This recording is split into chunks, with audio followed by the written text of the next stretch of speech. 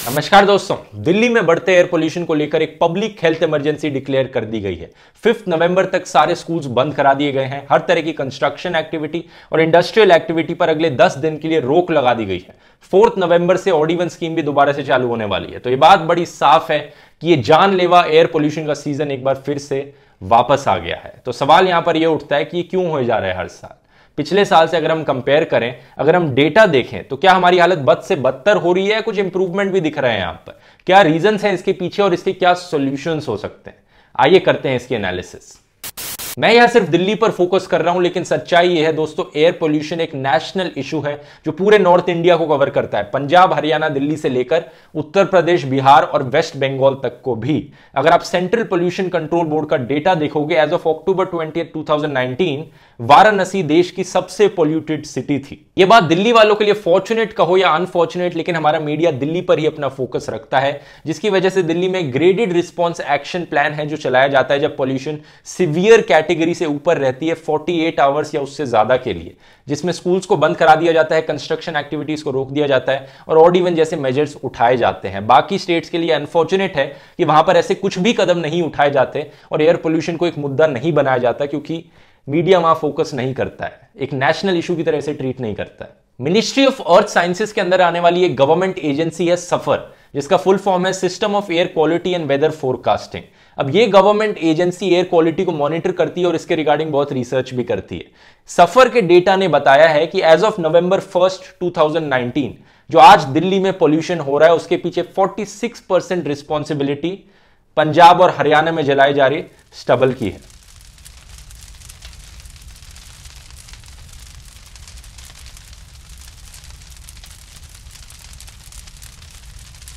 2016 से लेकर 2018 के बीच में स्टबल बर्निंग के इंसिडेंट्स कम होने लग रहे थे, लेकिन 2019 में इनमें 40 परसेंट का इंक्रीज आया। इस साल इनके बढ़ने के पीछे रीजन क्या है, ये इस वक्त बताना मुश्किल है, लेकिन मैं हरियाणा, पंजाब की सरकारों को ब्लेम करूँगा, क्योंकि वो इनफेक्टिव रही है फार्मर्स को कॉम्पनसेट करने में, ताकि फार्मर्स को इंसेंटिव मिले स्टबल बर्निंग रोकने का। आपके मन में यहाँ पर सवाल आएगा शायद कि ये स्टबल बर्निंग होती ही क्यों है, और आज से पचास साल पहले क्यों नहीं होती थी?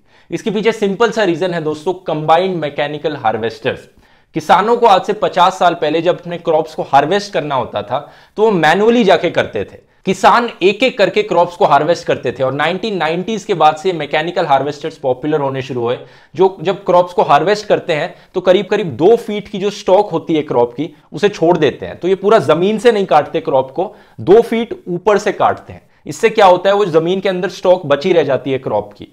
फार्मर्स अपना समय और पैसा बचाने के लिए उस बची हुई स्टॉक को काटने की जगह पूरे खेत पर आग लगा देते हैं ताकि जल्दी से जल्दी अपना नया क्रॉप उगाया जा सके। 2009 के बाद ये स्टबल बर्निंग और भी पॉपुलर हो गई जब हरियाणा और पंजाब की सरकार ने पानी बचाने के लिए एक ऐसा लॉ पास किया कि जो सोइंग होती है क्रॉप्स की, उसको डिले करके किया जाए, मानसून सीज़न में किया जाए।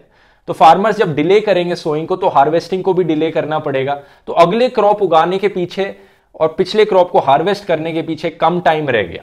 इसलिए फार्मर्स ने अब सोचा कि इस पर आग लगाना ही सबसे सिंपल तरीका है, क्योंकि बहुत कम दिनों का गैप है पिछले क्रॉप को हार्वेस्ट करने के टाइम में और नए क्रॉप्स के सोइंग सीज़न के टाइम में।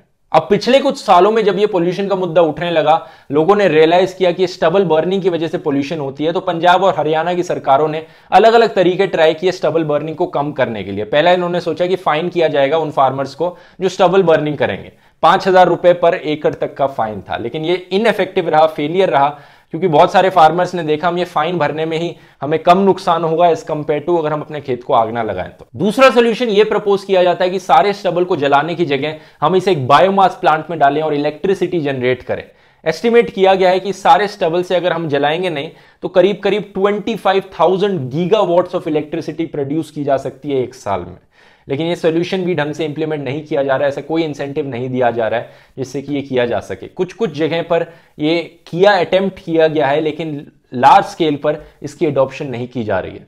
तीसरा सोल्यूशन जो टेस्ट आउट किया गया है वो है हैप्पी सीडर हैप्पी सीडर एक मशीन है जो कहती है कि आपको काटने की ज़रूरत नहीं है बची हुई स्टबल को, ना ही खेत को जलाने की ज़रूरत है। आप उसको ऐसे के ऐसे ही रहने दो, ये मशीन स्प्रेड आउट करेगी, उसे फर्टिलाइज़र की तरह इस्तेमाल करेगी उस स्टबल को, और जो आगे आने वाली सीड आपको सो करनी है, वो आप उसके ऊपर से ही सो कर सकते हो।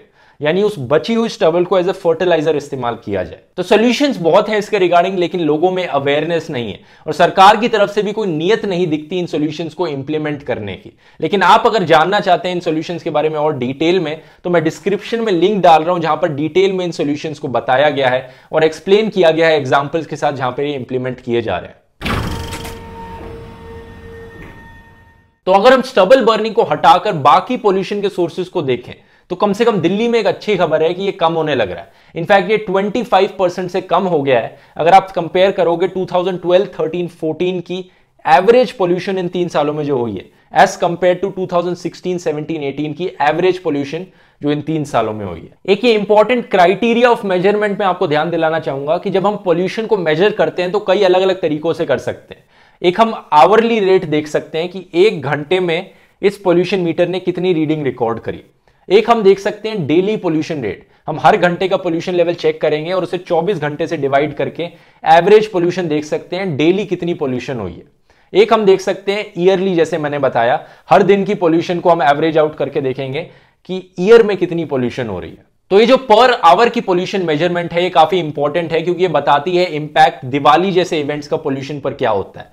क्योंकि अगर आप एवरेज आउट कर जाओगे बाकी दिन से तो वो वो सही कंपैरिजन नहीं रहेगा, क्योंकि सुबह सुबह कोई पटाखे नहीं फोड़ता दिवाली पे, शाम के टाइम फोड़े जाते हैं। तो पर आवर में कितना इंक्रीज आ रहा है, उससे आपको पता लगेगा पटाखों से कितना इंपैक्ट पड़ता है पोल्यूशन पे। और यही मैं अब आपको दिखाना चाहूँगा। एयर क्वालिटी इंडेक्स तो आपको याद ही होगा 50 से नीचे गुड एयर क्वालिटी होती है 100 तक मॉडरेट एयर क्वालिटी होती है 200 तक अनहेल्दी होती है 300 तक वेरी अनहेल्दी होती है, और 500 तक पहुँच जाए तो ये हेजार्डस एयर क्वालिटी हो जाती है। मतलब हेजार्डस आज तक किसी डेवलप्ड कंट्री में पहुँच गई ना तो वो इमरजेंसी डिक्लेयर कर देंगे। हर चीज़ बंद कर डालेंगे इस लेवल तक।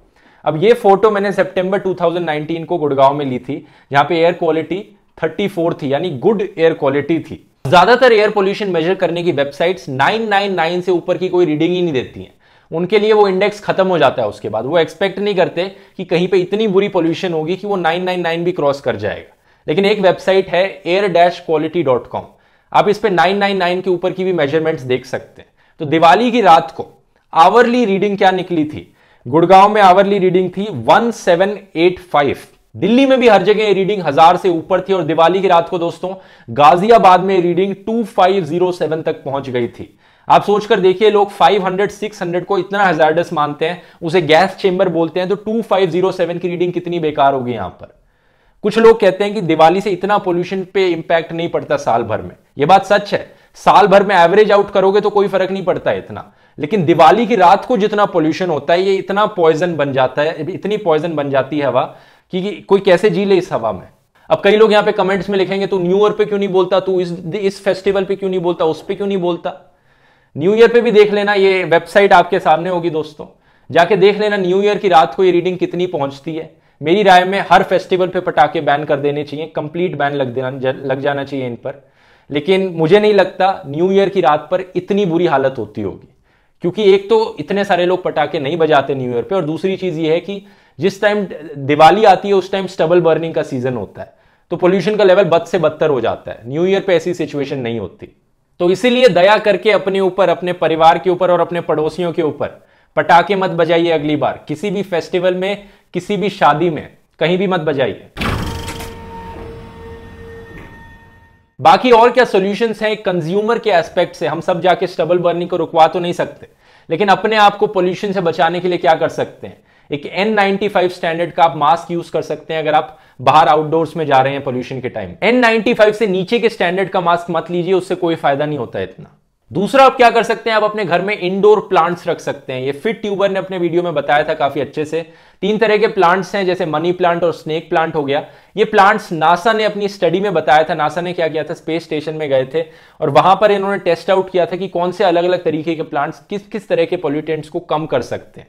इस विकीपीडिया पेज पे आप देख सकते हैं उन सारी लिस्ट ऑफ़ प्लांट्स ये भी मैंने डिस्क्रिप्शन में डाल दिया है कि कौन से अलग अलग प्लांट्स किस टाइप के पोल्यूटेंट को कम करने में मदद करते हैं। ये स्टडी नासा ने 1980s में करी थी। लेकिन अनफॉर्चुनेटली इंडोर प्लांट्स का इतना बड़ा इंपैक्ट नहीं होता है लेटेस्ट स्टडीज़ ने पता लगाया लेटेस्ट जो 2009 में 2010 में स्टडीज़ करी गई हैं बेसिकली प्रूव नहीं हो पाया है कि इंडोर प्लांट्स एक्चुअली में पोल्यूशन कम करते हैं या नहीं करते। लेकिन फिर भी मैं सजेस्ट करूँगा, रखने में क्या जा रहा है प्लांट्स रखिए अपने घर के अंदर।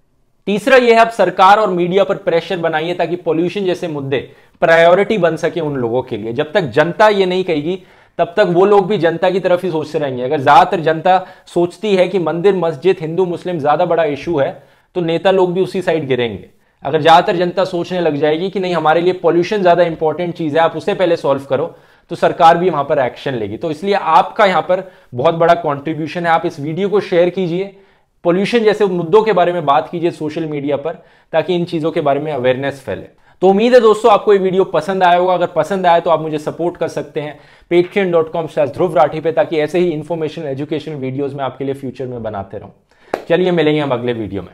बहुत बहुत धन्यवाद।